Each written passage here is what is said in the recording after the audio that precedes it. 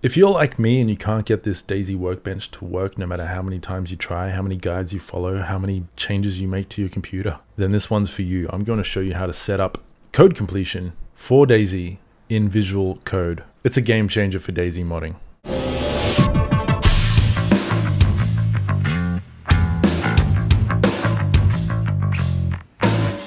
Today's video was inspired by Goonwolf. Thank you, man, for the coffees. Hugely appreciated. He said something about the Enfusion script editor. Don't even get me started on this thing. He says uh, basically every line of code I've done in Notepad++ compiled and run in DayZ.diag.exe. Gotta be a faster workflow than that. You would think so. I wish there was. For me, I do exactly the same thing, except I go one step further. I run everything on my DayZ server. So I run a server and then I load up my game and I log in and I look at the print logs. It's a horrible workflow. I never claimed to be a great DayZ modder. If you can get the workbench working, go for it. This video will be about that. If you can't get it working, I'll show you the next best thing, which is using plugins, extensions with visual code to get code completion. Uh, this is honestly the next best thing. It's what I've been using lately and it's pretty good. First of all, let me just briefly talk about the workbench. I have a love-hate relationship with this thing.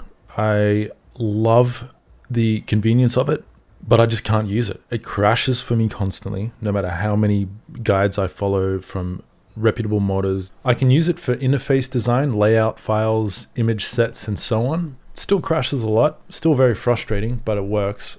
However, the script editor, I can't get to work with modded files, no matter how many things I've tried, but maybe you'll have better luck than me. So before you do anything, I recommend you come to Dab's GitHub and try to get his template here working with the workbench. If you can get this working, you are already a significantly better modder than I'll ever be, and you have a huge advantage uh, because of your, your access to the debug tools and things like that every iteration of DayZ, I give it another crack. 1.28 is the latest release. I tried again, couldn't get it working.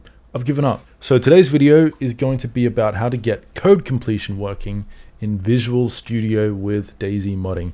It's not as good as the Workbench, but it's the next best thing for sure. You'll want to come and get Visual Studio Code. It's free. There's a free version of it. And these are free plugins for Visual Studio. This extension will index the vanilla script files so you can hold down control and click on keywords like links and it will take you to the official vanilla files basically source code documentation. If you're lucky some of these functions will have comments explaining what they do. Many don't and you'll just have to figure it out yourself but this is a great tool.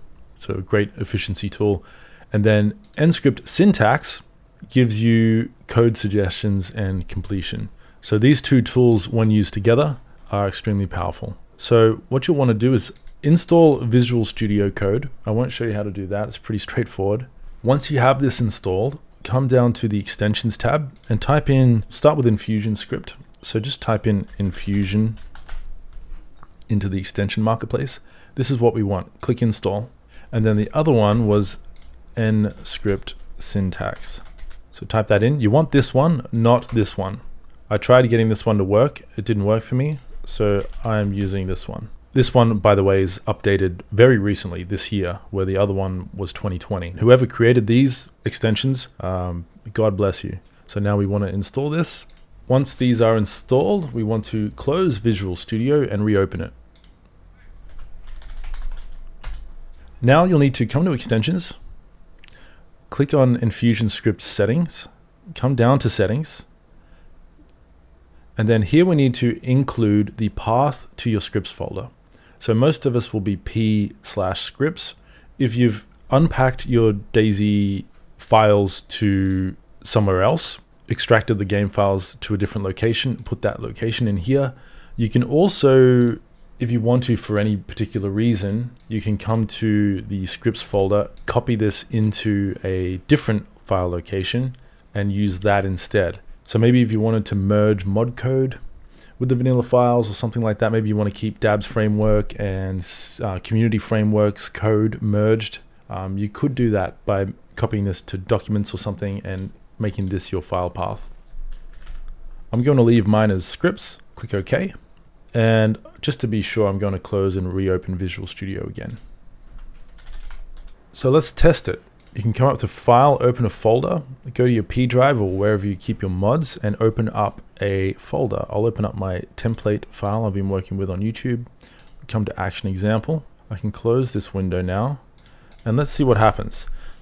Now, it can be a bit finicky, unfortunately, um, with some things. Like, for example, right now, Action Data is not giving me any code completion, but if I copy this and get rid of Action Data and I just type in Action, I get all the code completion suggestions. So I don't know if that's a bug. Hopefully that gets fixed at some point. Um, but I guess, you know, these are the workarounds we have to do when we are using third-party tools like this. That's, that's why I prefer the workbench if I could get it to work. But again, I've given up on that.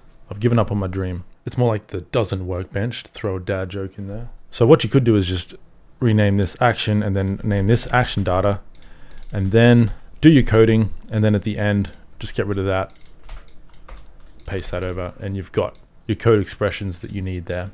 So for example, if I did player base player equals player base dot cast action data, you'll memorize a lot of these commonly used expressions anyway, or variables. Uh, M player isn't going to show up for me for some reason. And so now when I type player, let's say I wanted to add some health, we get the parameters we need to fill out. So it's a little bit clunky to work with, but again, better than nothing. So that would heal the player and if you're not sure what those functions do, now you can hold down control and click on add health and you go straight to the documentation in the window.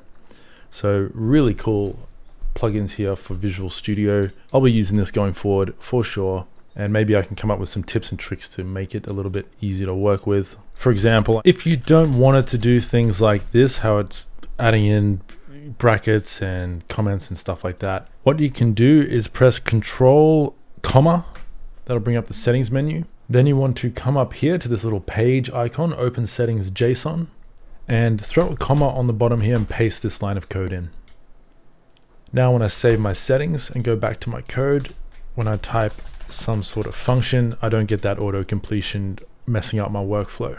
In future videos, I'll give you more tips and advice as I get more familiar with these tools, but for now, hopefully that's helpful. I know it's hacky, I know it's not great. As I said, if you can get the workbench working, go for it. Certainly, everything I do could be done better. I'm a creature of habit. I learned the hard way, the clunky way, on my own, by myself mostly, looking at other people's source code and reading the vanilla scripts files. In fact, throughout all of my modding so far, basically, I've been using Agent Ransack. Uh, I use this program to jump around the vanilla files and figure out what is what and what I need to do. So do as I say, not as I do. Get the workbench working if you can. If you can't, this is here for you.